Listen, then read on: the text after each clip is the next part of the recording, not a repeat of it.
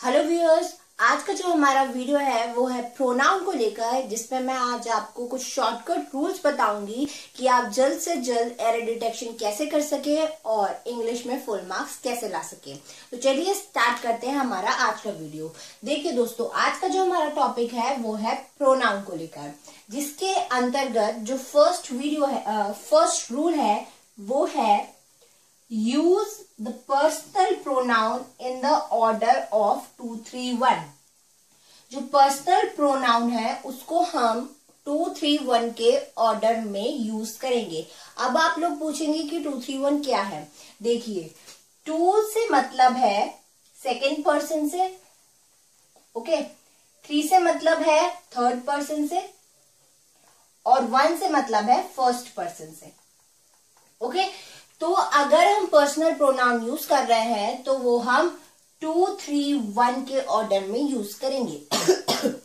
For example he and you are to finish it देखिए, बोल रहा है he and you are to finish it तो ये जो हमारा है सेंटेंस ये बिल्कुल गलत है, क्योंकि यहाँ पे पर्सनल प्रोनाउन यूज़ हो रहा है, और यहाँ पर देखिए ऑर्डर बिल्कुल गलत है ही एंड यू का ओके अब देखिए you he and I are to finish it अब इन दोनों सेंटेंस को कंपेयर कीजिए। देखिए इसमें टू थ्री वन ऑर्डर है आर टू फिनिश इट मतलब ये क्या है हमारा सेंटेंस बिल्कुल सही है।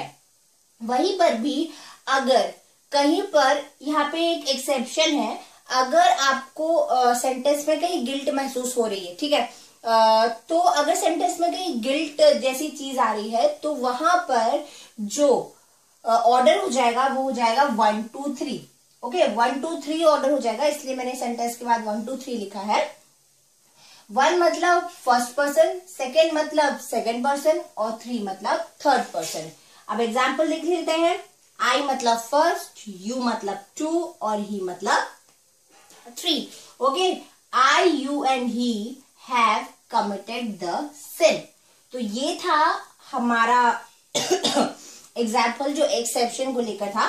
अब चलिए सेकेंड रूल पे आते हैं। तो सेकेंड रूल हमारा है, वो ये है when a pronoun stand for collective noun use in singular form अगर pronoun as a collective noun use हो रहा है सॉरी प्रोनाउन कलेक्टिव नाउन की जगह पर स्टैंड कर रहा है तो हम सिंगुलर फॉर्म यूज़ करेंगे। देखिए कलेक्टिव नाउन क्या होता है, आपको पता ही है, जैसे कि कमिटी आर्मी ओके जूरी इस तरीके से जो होता है, वो पूरा अगर, वो क्या होता है कलेक्टिव नाउन होता है। फॉर एग्ज़ाम्पल हम देख लेते हैं द आर्मी हैज़ ये देखिए द आर्मी कलेक्टिव नाउन है हैज़ क्या यूज़ कर रहे हैं आप singular form singular form of verb left its headquarters army ने अपने हेडक्वार्टर्स छोड़ दिए हैं। अब देखिए, यहाँ पर इस चीज़ में थोड़ा सा एक्सेप्शन है। एक्सेप्शन नहीं कह सकते हैं, ये कह सकते हैं कि यहाँ की जो सेकेंड एग्ज़ाम्पल एक बार देख लीजिए आप। The committee were divided in their opinion यहाँ पर आप बोलेंगे कि यहाँ पर हमने प्लूरल लिया है बट यहाँ पर सिंगुलर लिया है, ऐसा क्यों? देखिए, ऐसा आपको तब करना है जब आप एज अ होल ले रहे हो ओके एज अ होल ले रहे हो तो आप singular form of verb use करेंगे। पर अगर सेवरल इंडिविजुअल ले रहे हैं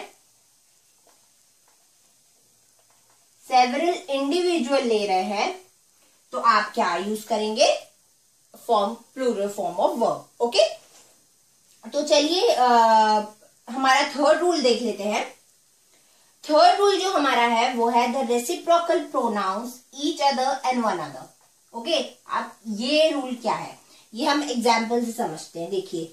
The two sister hate each other ये आपको यहाँ पर एक चीज़ याद रखनी है कि ईच अदर जब यूज़ होगा, जब दो पर्सन है ओके टू पर्सन है जब, तब ईच अदर यूज़ होगा और वन अनदर यूज़ होगा जब मोर देन टू पर्सन है ओके तो ईच अदर यूज़ होगा टू पर्सन के लिए वन अनदर यूज़ होगा मोर देन टू के लिए। अब देखिए the two sister two sister है हेट ईच अदर तो हमने यहाँ पे क्या यूज़ किया? ईच अदर वहीं the five brother love one another. यहाँ पे हम यूज़ कर रहे हैं वन अनादर, और यहाँ पे क्या है, मोर देन टू है, फाइव ब्रदर है तो हमने यहाँ पे यूज़ किया वन अनादर। तो ये था हमारा आज का वीडियो। नेक्स्ट रूल के लिए मिलते हैं अगले वीडियो में। Thank you.